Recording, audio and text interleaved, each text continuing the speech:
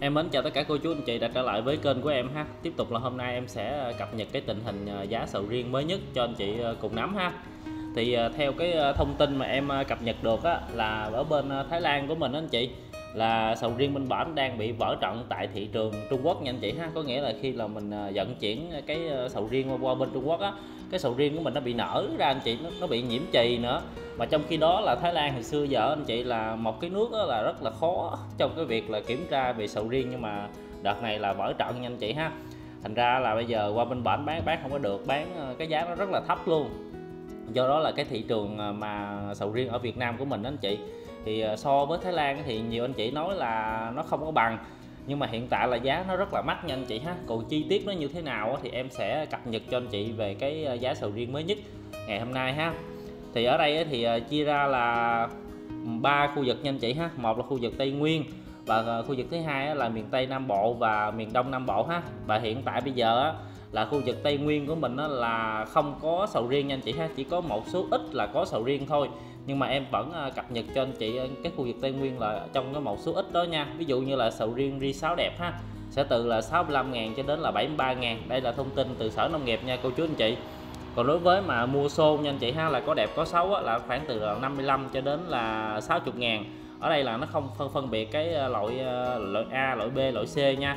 Có nhiều kênh cập nhật đó là loại A loại B là loại loại C á, thì nó sẽ có nhiều giá. Thì ở đây thì em chỉ cập nhật cho anh chị về cái hàng đẹp và hàng xô thôi. Và tiếp tục đối với mà sầu riêng uh, Dona nha anh chị ha là cái loại sầu Thái bây giờ đó thì cái giá bây giờ tại vườn nha anh chị ha, là từ 85 cho đến là 95 ngàn, khu vực là Tây Nguyên nha. Còn đối mà sầu riêng Thái Xôn là từ 70 ngàn cho đến là 80 ngàn nha cô chú anh chị. Rồi em cập nhật cho anh chị về cái giá sầu riêng ở à, miền Tây Nam Bộ nha. Thì đối với miền Tây Nam Bộ thì hiện tại là đang vô mùa nha cô chú anh chị. Đặc biệt là những khu vực như là Tiền Giang đó. Đây bây giờ là đang vô rất là rộ luôn. Là sầu riêng đi sáu đẹp nha, sẽ từ là 65 cho đến là 73 nha cô chú anh chị. Còn hàng à, xô á sẽ từ là 55 cho đến 60 thì đây là thông tin của sở nông nghiệp thôi. Nhưng mà thực chất khi mà lái mà đến giường vườn mua anh chị, tầm nó khoảng là 50 ngàn ha tại vì cũng có nhiều anh chị bình luận lên trên kênh đó, nó khoảng đâu là 50 ngàn thôi. Nhưng mà ở đây là cái giá cho anh chị có thể là tham khảo. Còn chi tiết nữa thì anh chị cứ bình luận cái giá mà anh chị bán lên đi. Thì em sẽ tổng hợp những cái bình luận đó đó. Em ờ, cập nhật ở cái video lần sau nha. Thì đối với mà cái sầu riêng Thái Lan là đô na đẹp nha anh chị. Ở khu vực là miền Tây là khoảng từ 85 đến 95 ngàn, còn xô là 70 cho đến là 8 80 ngàn ha.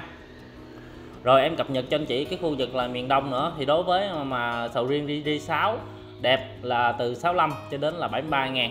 Khá, cũng khá cao nha anh chị ha. Riêng cái ri 6 đợt này là giá là rất là ổn luôn. Là do cái thị trường Thái Lan nãy em có nói cho anh chị đó còn những anh chị nào mà lái mà mua ờ, thấp hơn là do ép giá nha cô chú anh chị. Nói chung cơ hội mà ai cũng biết nắm bắt hết á. Còn đối với là sầu riêng Thái Lan Dona đẹp ha khu vực là miền Đông là từ 85 đến 95 ngàn cũng giống như ờ, những cái miền khác thôi. Sầu riêng Thái xô là từ ờ, 70 cho đến 80 do đó thì anh chị hãy xem cái kênh của em là cập nhật là cái giá nó cao hơn mấy cái kênh kia luôn á. Mấy mấy kênh khác á, là người ta cập nhật thế này loại A loại B loại C là nó là là nó là bao nhiêu.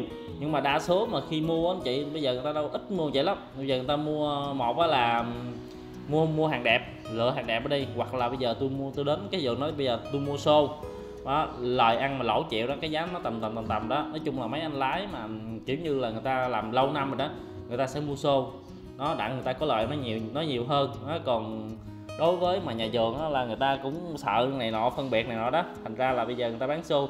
Nhắm cái giá có lợi là ăn à. thường thường là cái sầu riêng khoảng đâu từ 40 ngàn là đã có ăn rồi. Tầm tầm vậy nha cô chú anh chị. Rồi thì hôm nay em cập nhật cho anh chị về cái giá ha. Anh chị nào quan tâm bấm nút đăng ký kênh. Còn mà muốn mà tham khảo những cái video mà về sầu riêng á, thì anh chị cứ bấm qua phần short đi. Em đăng video short mỗi ngày luôn. Vấn đề là tình hình mà sầu riêng rụng này nọ đó thì anh chị cũng cũng có thể là xem được nha. Rồi em cũng được mến chào.